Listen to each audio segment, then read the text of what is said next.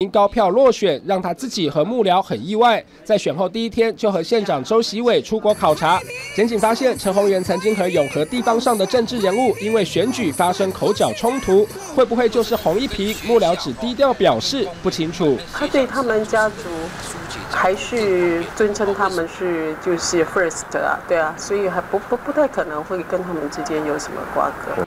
检警目前没有直接证据显示枪击案和这名政治人物有关，还要调查他的交往情形和通联记录。倒是林政伟目前还是坚称开枪和土地纠纷有关。昨天下午他第二度被测谎，对于开枪是否为了钱，真正的目标是谁，幕后是否有人指使，为什么要打给杜义凯，马面几乎有问必答。初步测谎结果显示，马面的确和陈家有财务纠纷，现在就等测谎报告出炉，才能再进一步理清案情。中联新闻台北综合报道。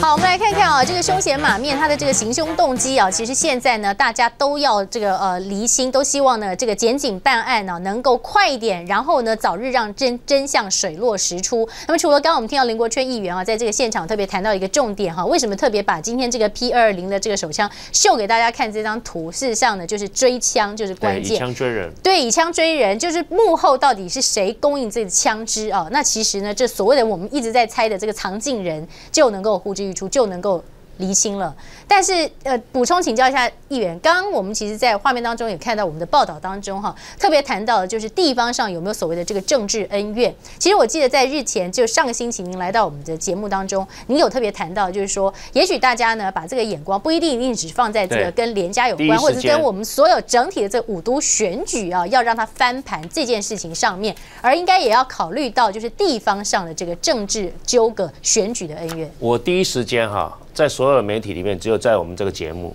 讲说大家的的把这个案子的幕后的幕后的这个情况，嗯，啊，说是政治恩怨或者是赌场地下赌场，但是不排除有这个可能，就是其他的候选人，因为当天选前之夜，所有的候选人都在办都在办选前之夜，包括洪一平洪市长，他也在办选前之夜，是，其他还有连佩凡连议员，还有一个许绍兴许议员，他参选，他们在扫街游行，是。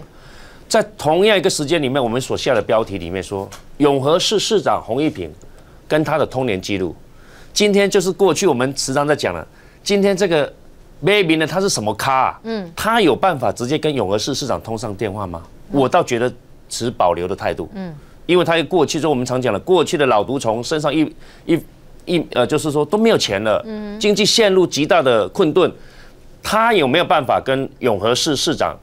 牵扯到关系，就是这把枪的由来。嗯哼，这把枪的由来，幕后的这个人可能有跟有办法，才有办法跟永和市市长通上电话，嗯哼，甚至见过面。以他 baby 呢，他的社经地位根本不可能。我跟跟大家保证，嗯哼，因为。他在长期在混这个永和这个黑道里面，也不是小小不是黑道，是个小混混。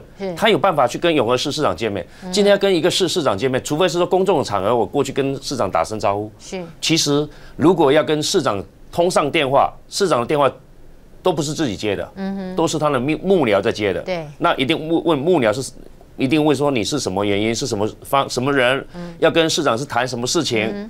所以我为为什么说？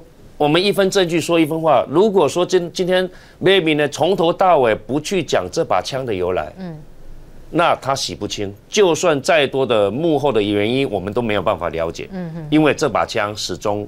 显现不出到底是谁提供他这把枪。事实上，大家呢其实都讨论过很多有关于他的这个行凶犯案的动机哦。我们来看看，包括一开始也谈到是不是跟地下赌盘有关，赌盘的利益吗？买凶可以让这个整个赌盘翻盘，影响到整个选举的结果。但是我们也提出疑点，连胜文既无公职，也不是选将。第二，组头认为，如果想影响选情，也没有必要去闹出人命吧。再者，是不是可能土地纠纷呢？现在就传出来说，检警在侦办有意啊，要以土地纠纷来草率结案，草率结案是万万不可。但是是不是跟土地纠纷有关联呢？那么马面介入陈家的绿野香坡古亭都更案，当事人这对父子却是予以否认了。还有有没有可能是勒索不成呢？冲着这个陈家他们在新店的国宾山庄等建案勒索要钱要不到，结果呢就愤而行凶。不过当事人也就是当地接待中心人员否认有被勒索的事。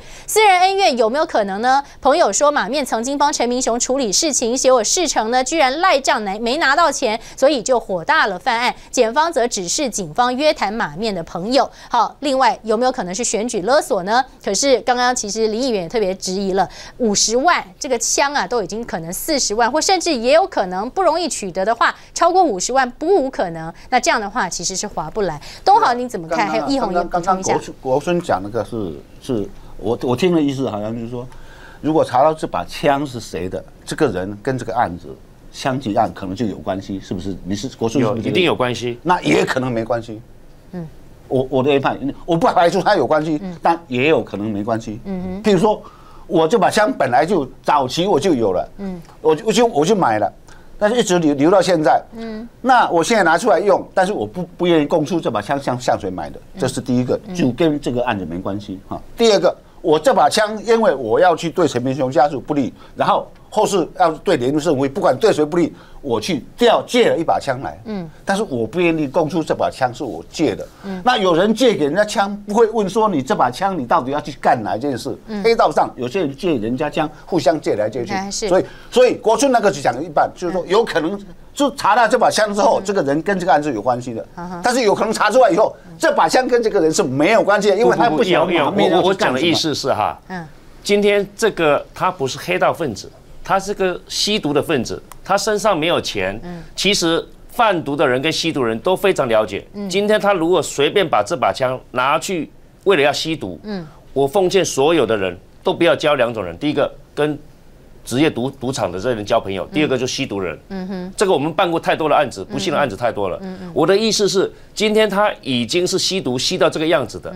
今天他如果真正的有这把枪，自己有珍藏这把枪，干脆把这把枪拿去跟贩毒人讲说：“来，我这个钱，嗯，打三十万，经济四十八万，当偌济，就赌赌了就好了，可以让他在吸毒，啊至少可以用个两个月，嗯，是不是？应该啊，已经没得价。不，不管是怎么样啊，就是说这把枪他平常没有没有吸毒了，他过去都有吸毒了，吸吸毒要改啊。其实我们要了解一下，他吸毒真正的改是我们讲的改，嗯，要真正的改。